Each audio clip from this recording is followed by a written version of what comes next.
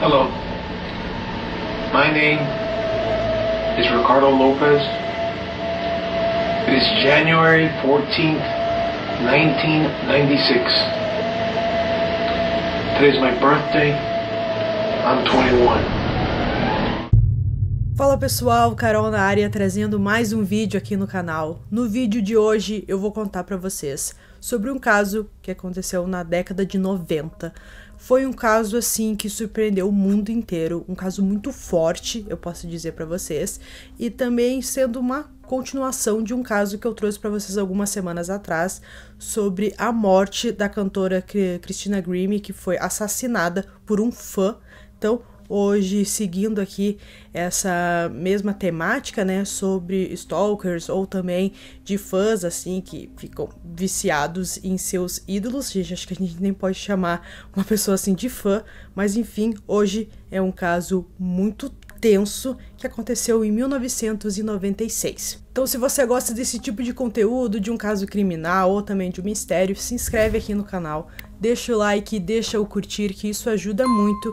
Também ativa o sininho para receber todas as notificações. Então, bora pro vídeo e hoje nós vamos conhecer o caso que ficou conhecido como o stalker Ricardo Lopes e a cantora Bjork.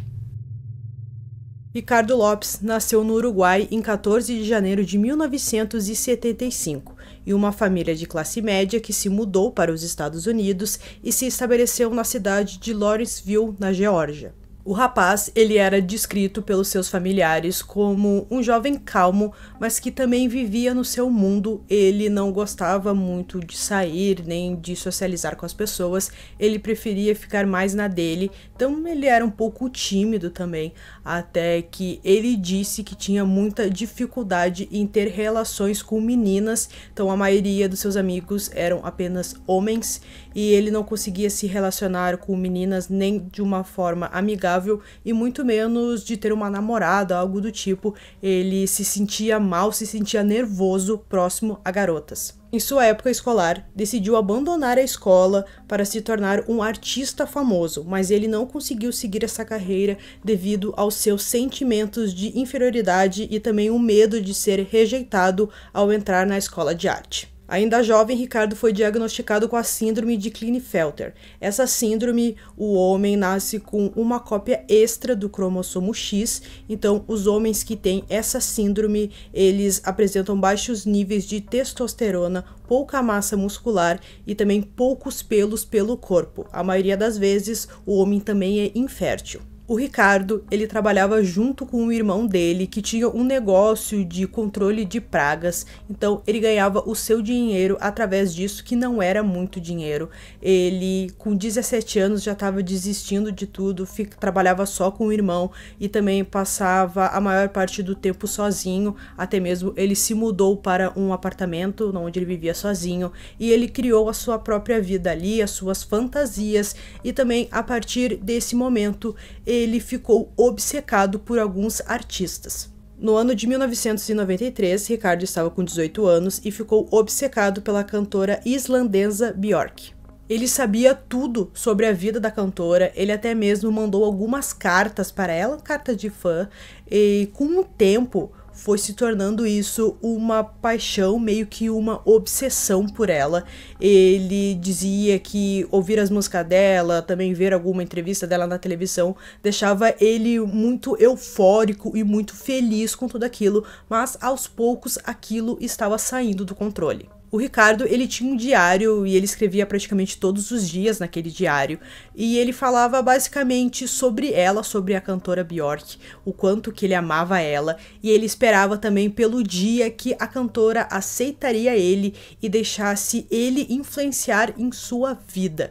Ele também teve algumas ideias malucas de criar uma máquina do tempo para voltar no ano de 1970 e poucos e conhecer a cantora quando ela ainda era uma criança. Em nenhum momento no diário ele falava em ter relações sexuais com a cantora, nem nada do tipo. Ele dizia que amava muito ela, então ele não podia ter relações com ela. O diário do Ricardo já passava de 800 páginas e nelas haviam seus pensamentos pela cantora e sua insatisfação com seu corpo. Ele se sentia envergonhado por estar acima do peso e por também não conseguir uma namorada. Ele também escreveu que se considerava um perdedor que nunca aprendeu dirigir e reclamou do seu trabalho junto com seu irmão e que ele ganhava muito pouco com aquilo além dele falar no diário sobre os sentimentos que ele tinha sobre o corpo dele, de não gostar, e também sobre a cantora, algumas vezes ele falou sobre o suicídio, também sobre assassinato, e ele também falou sobre alguns outros cantores, alguns outros famosos que ele gostava. No ano de 1996, Ricardo foi pego de surpresa com uma notícia de que Bjork estava namorando com um músico chamado Goldie. Nessa época, ele morava sozinho em um apartamento em Hollywood, na Flórida. Ele ficou extremamente furioso ao ler essa notícia e se sentiu traído pela cantora e também não aceitava o fato dela namorar um homem negro. Ele até mesmo escreveu em seu diário que perdeu oito meses de sua vida e ela simplesmente tinha um amante. A partir desse momento, ele fantasia como vai punir a cantora. O Ricardo decide não escrever mais em seu diário e faz todos os dias vídeos em seu apartamento. Segundo ele, o objetivo de gravar um vídeo era para documentar a sua vida, sua arte e seus pensamentos.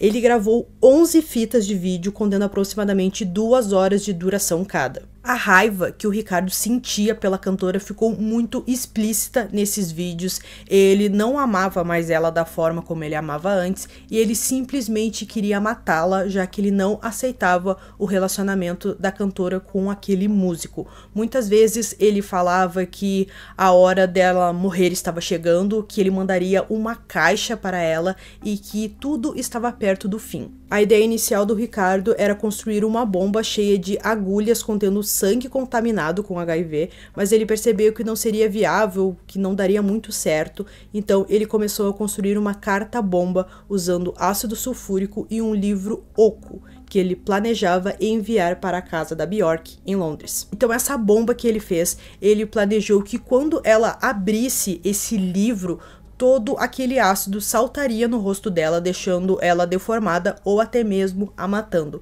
Ele planejou tudo, então ele iria enviar essa carta bomba pelo correio e logo em sequência ele se suicidaria, não esperaria, né, para ver se realmente aconteceria algo com ela. Então ele tiraria a própria vida, porque segundo ele, se ela morresse, os dois se encontrariam no céu e poderiam ficar juntos. Na manhã do dia 12 de setembro de 1996, Lopes filmou o seu último registro no diário em vídeo. A fita final, intitulada Último Dia, Ricardo Lopes, começa com ele se preparando para ir até o correio para enviar a carta bomba.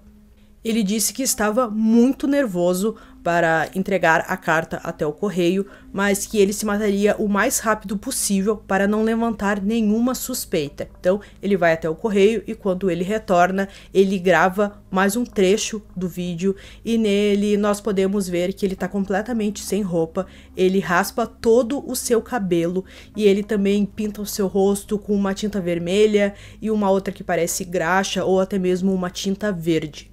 Então, ele se grava na frente de um espelho falando que ele realmente está muito nervoso. Ele também deixa bem claro que ele não está bêbado, que tudo aquilo que ele está fazendo é consciente e que aquilo deveria ocorrer. Então, ele senta e ele pega a sua arma e dá um tiro na própria boca, só que nesse momento, com o impacto do tiro, ele sai de cena, deixando apenas um pouco de sangue espalhado na parede, e logo em sequência a câmera para de filmar.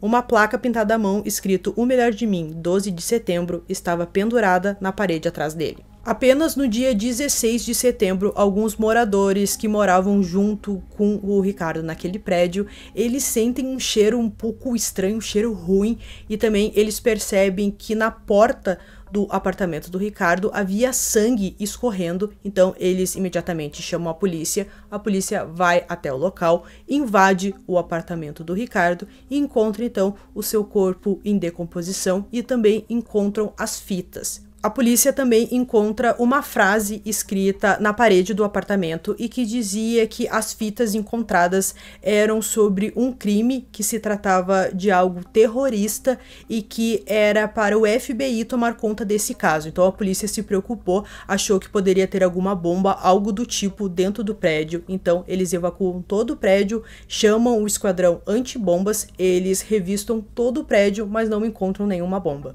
Depois que a polícia assiste aos vídeos do Ricardo, eles imediatamente entram em contato com a polícia de Londres, avisam o que, que aconteceu, que tem um pacote chegando para a cantora Bjork, que não era para ninguém abrir, e sim irem imediatamente até uma agência do correio para ver aonde esse pacote estava e por sorte ele ainda não tinha sido entregue. Então a polícia faz todo o trabalho necessário, encontra esse pacote num dos correios que tinha em Londres, eles pegam esse pacote, levam até o local, detonam a bomba assim, sem ninguém se machucando.